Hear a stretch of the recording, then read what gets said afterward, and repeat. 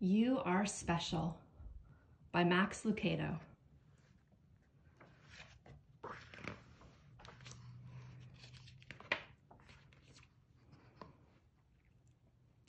The Wemmicks were small wooden people.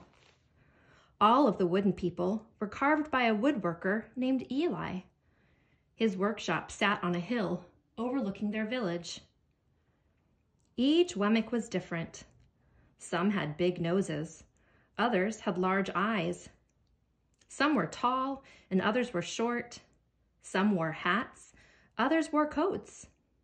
But all were made by the same carver and all lived in the village. And all day, every day, the Wemmicks did the same thing. They gave each other stickers. Each Wemmick had a box of golden star stickers and a box of gray dot stickers. Up and down the streets all over the city, people spent their days sticking stars or dots on one another. The pretty ones, those with smooth wood and fine paint, always got stars. But if the wood was rough or the paint chipped, the Wemmicks gave dots. The talented ones got stars too. Some could lift big sticks high above their heads or jump over tall boxes. Still others knew big words or could sing pretty songs. Everyone gave them stars. Some Wemmicks had stars all over them. Every time they got a star, it made them feel so good. It made them want to do something else and get another star. Others, though, could do little. They got dots. Punchinello was one of these. He tried to jump high like the others, but he always fell. And when he fell, the others would gather around and give him dots. Sometimes when he fell, his wood got scratched, so the people would give him more dots.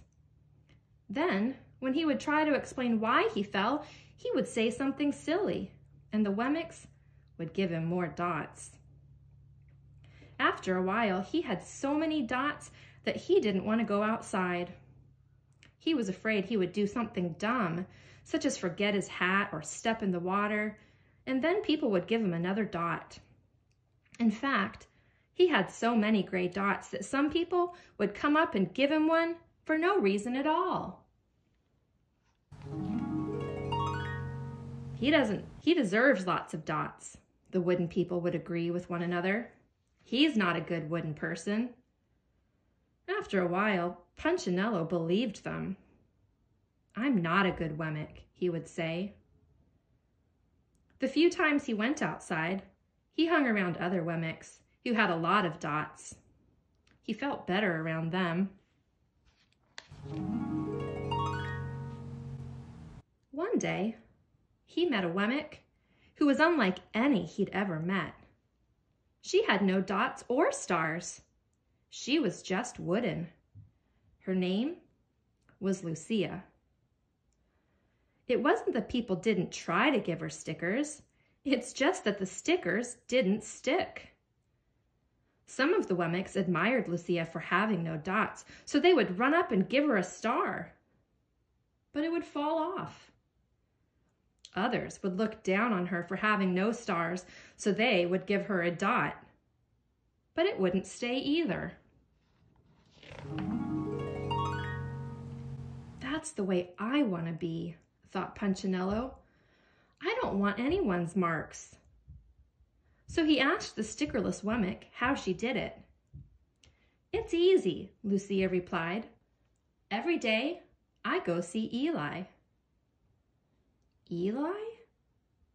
Yes, Eli, the wood carver. I sit in the workshop with him. Why? Well, why don't you find out for yourself? Go up the hill, he's there. And with that, the Wemmick, who had no stickers, turned and skipped away. But will he want to see me? Punchinello cried out. Lucia didn't hear. So Punchinello went home. He sat near a window and watched the wooden people as they scurried around giving each other stars and dots. It's not right, he muttered to himself. And he decided to go see Eli.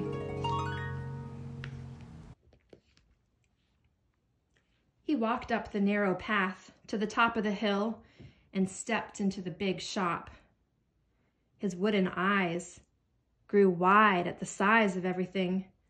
The stool was as tall as he was. He had to stretch up on his tiptoes to see the top of the workbench. A hammer was as long as his arm. Punchinello swallowed hard. I'm not staying here. And he turned to leave. Then he heard his name. Punchinello? The voice was deep and strong. Punchinello stopped.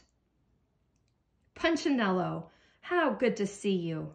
Come and let me have a look at you. Punchinello turned slowly and looked at the large, bearded craftsman. You know my name? The little Wemmick asked. Of course I do. I made you. Eli stooped down and picked him up and set him on the bench. Hmm, the maker spoke thoughtfully as he looked at the gray dots. Looks like you've been given some bad marks. I didn't mean to, Eli. I really tried hard. Oh, you don't have to defend yourself to me, child. I don't care what the other Wemmicks think. You don't? No, and you shouldn't either.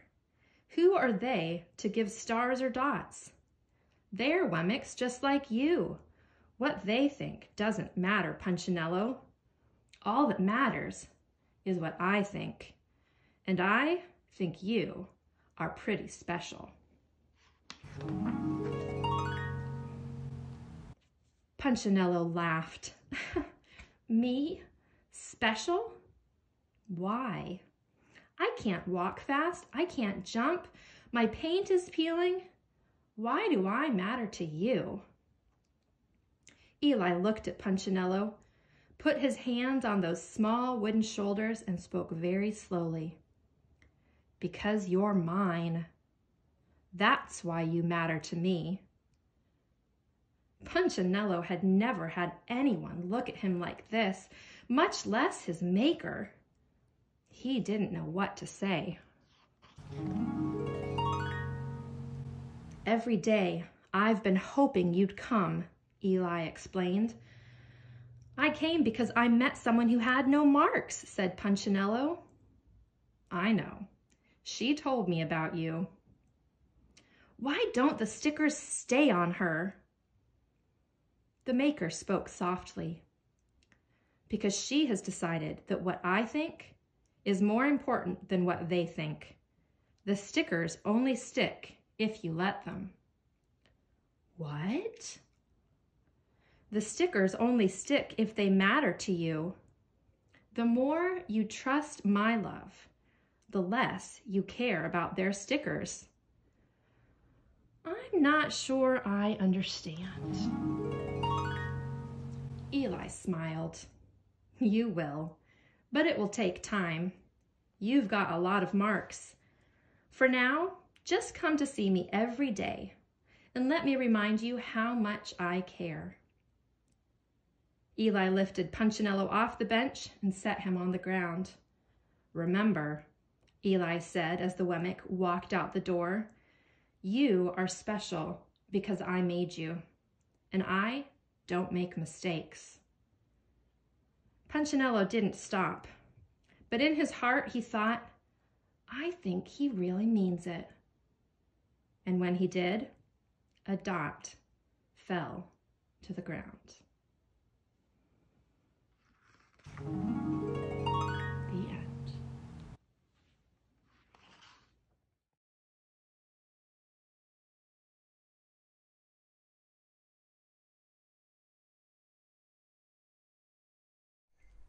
Good morning, church. Our call to worship today comes from the Heidelberg Catechism. It's question one, uh, and if you if this is something you have memorized, I invite you to say it along with me. What is your only comfort in life and in death?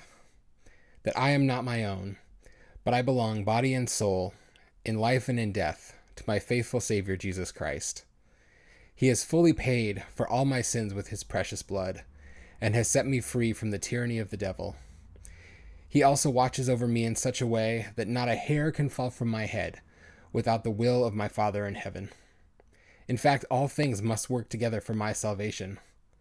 Because I belong to Him, Christ, by His Holy Spirit, assures me of eternal life and makes me wholeheartedly willing and ready from now on to live for Him. Amen.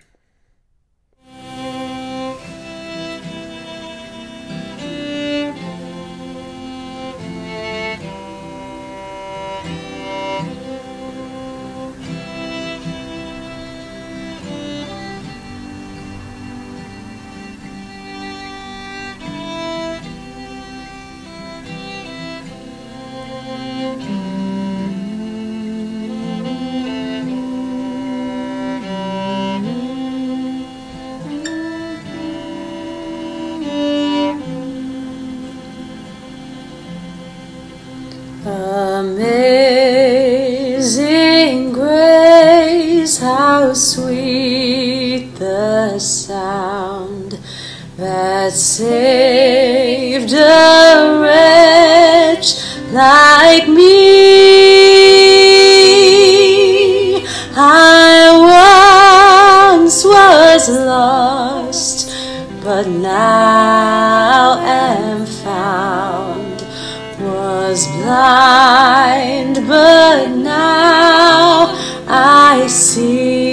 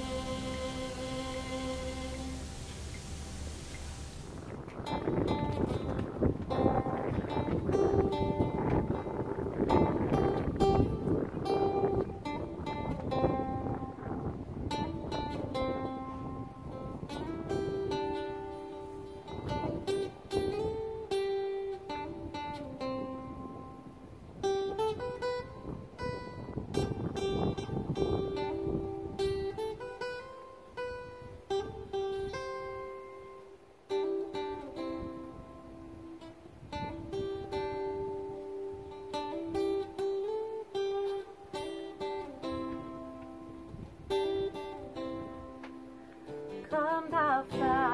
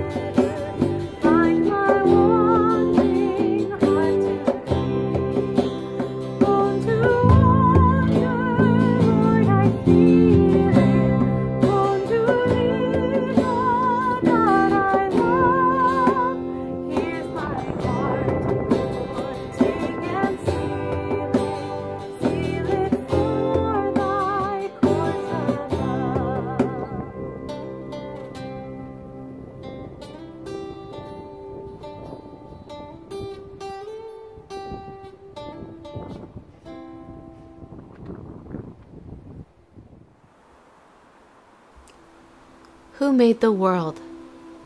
Who made the swan and the black bear? Who made the grasshopper?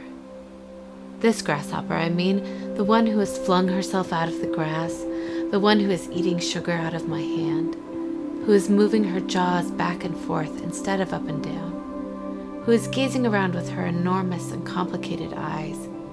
Now she lifts her pale forearms and thoroughly washes her face. Now she snaps her wings open and floats away.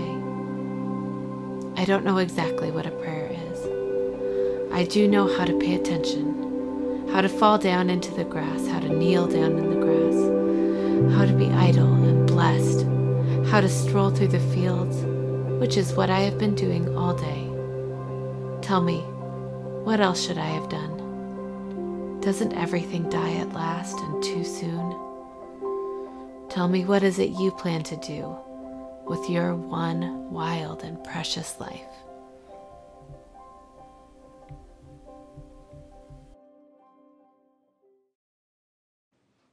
Will you pray with me?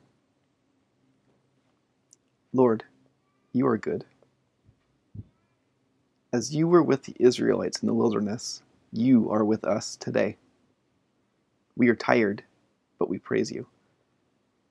We delight in you. Your presence sustains us. You see us. You care about us. You love us. You even like us. With the old spiritual, we pray, Not my brother, not my sister, but it's me, Lord, standing in the need of prayer. Like Isaiah, in your presence, we find that we are unclean, and we are part of an unclean people. Take our sin.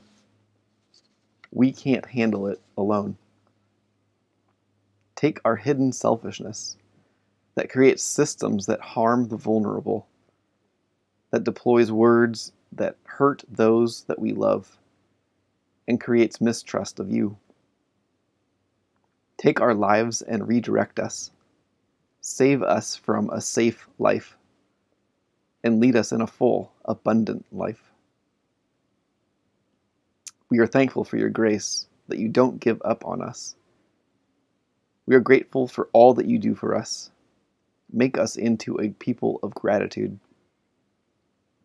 We are thankful for the gifts you give us for food and for laughter, for salvation, for the Holy Spirit. Lord, we ask that you would meet us in a special way this week. For those that need jobs, we ask for jobs.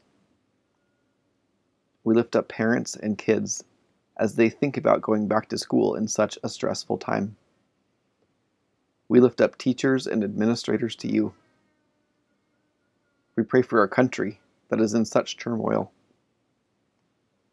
We pray for Black and Indigenous communities that they would know full embracement, while also being able to hold on to the beautiful cultural identities from which they come. In these few moments, we lift up the people that are on our hearts to you.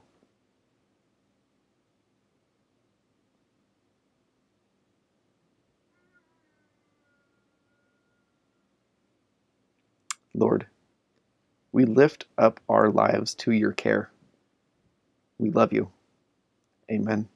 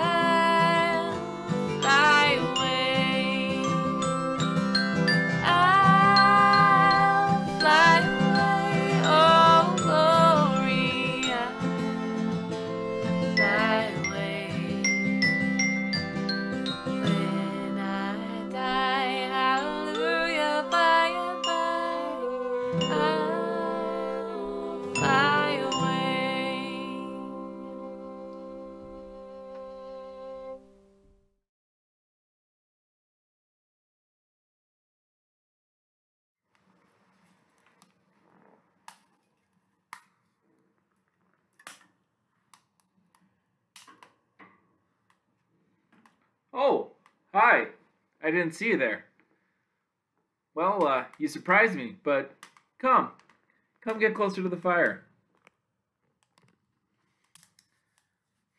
You know what else surprises me? When I think about the songs of ascent.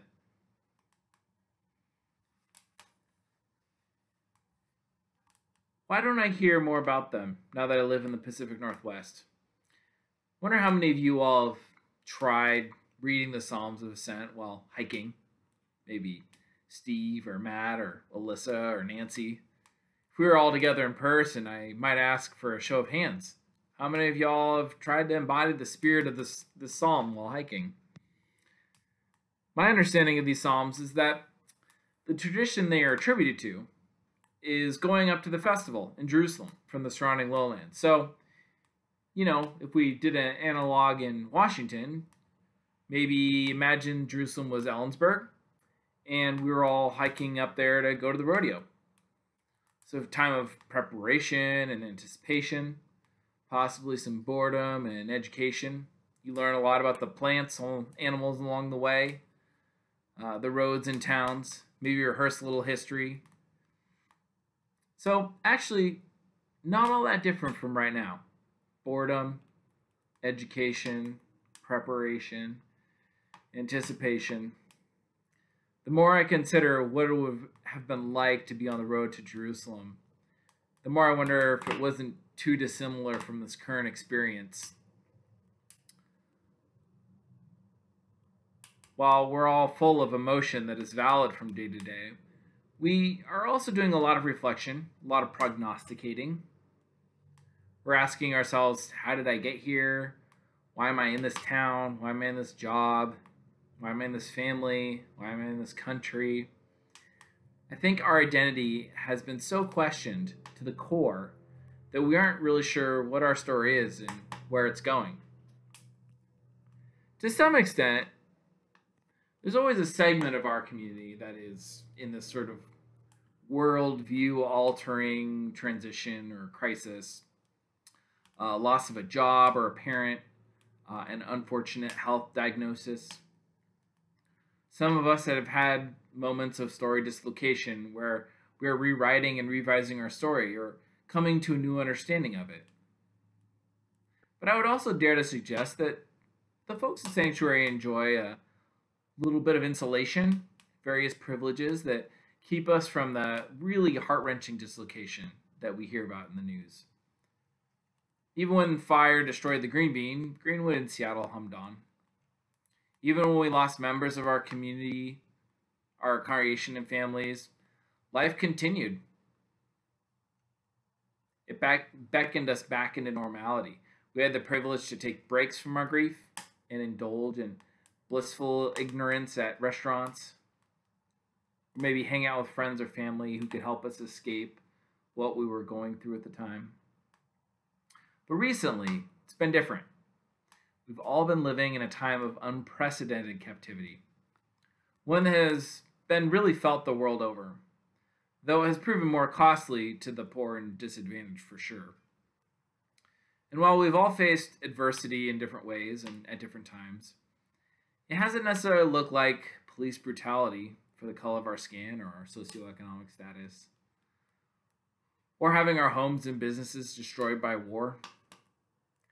Still, this pandemic is unprecedented in the captivity for most of us, and we're witnessing how fragile our lives and our livelihoods are. So, how do we relocate our story? How do we send our roots into the ground to re anchor and re establish solid ground when things feel so shaky? I think you could see where I'm going with this. It's a simple story reframe. I'm leaving my hometown, I'm going to Jerusalem, and on the way, I'm going to tell the story of what God has done and is doing in my life. My life is defined by and set within the life of the people, of my people. Therefore, my story is the story of God's people. Now, the story that would have been rehearsed, at least one of the main stories that identified the people of Israel, is, of course, our other lesson from the Old Testament, that of the oppression and rescue from Pharaoh. It is a story that is still rehearsed by the Jewish community as the main identity and story forming event of the Jewish people and their faith, and we share that with them.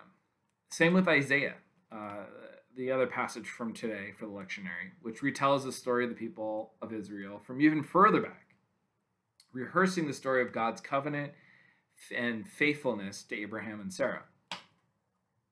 If it had not been the Lord who was on our side when our enemies attacked us, then they would have swallowed us up alive when their anger was kindled against us. Then the flood would have swept us away, the torrent would have gone over us, then over us would have gone the raging waters. It's almost like the psalmist is imagining what it was like to be Pharaoh's army and getting consumed by the sea rather than the way it actually happened, where the Israelites were not Pharaoh's army consumed by the sea. They were got through on dry land.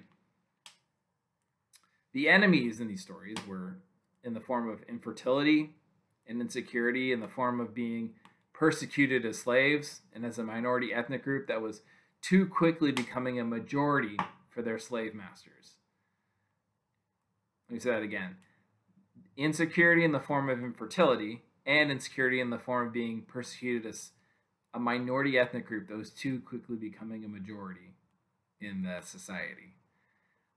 It sounds to me like two pretty contemporary issues that people are afraid of. And uh, maybe ought to be, maybe not.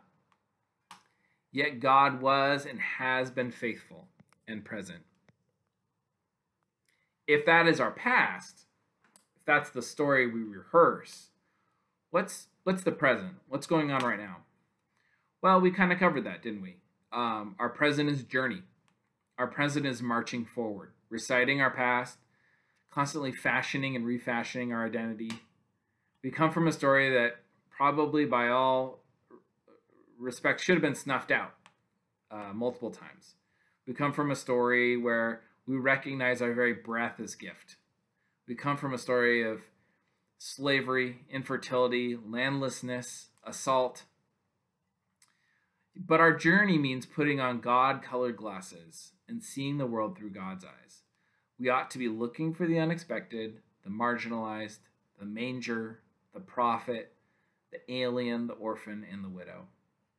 In the fall of 2019, James K. A. Smith came to SPU to talk about why Christians that set out to change the culture ended up being changed by the culture instead. Simply put, he blamed liturgies. Christians didn't practice liturgies that reinforce a biblical view of justice, love, and creation care. We've been lulled into a consumeristic culture that does not value what God values. So then we look to the future to know what these God colored glasses are pointing us to. What is the point of knowing where we have been where we are if we don't know where we're going. In the case of Psalm 124, we're headed to Jerusalem.